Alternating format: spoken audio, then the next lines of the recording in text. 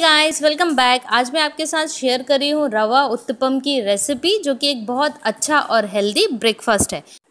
तो इसे बनाने के लिए दो कप रवा या सूजी में एक कप दही ऐड करिए और पानी की हेल्प से एक थिक बैटर बना के इसे 10 मिनट के लिए रेस्ट करने के लिए छोड़ दीजिए।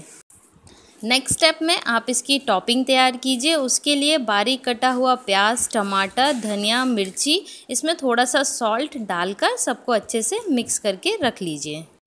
अब एक नॉन स्टिक पैन में ऑयल गरम करिए। इसे स्प्रेड करने के बाद आप इस पे उत्पम बैटर को फैला लीजिए और उसके ऊपर हमने जो टॉपिंग्स तैयार की थी, हम उसे इस पर डालेंगे और उसके बाद ऑयल डालकर दोनों साइड से अच्छे से सेक लेंगे।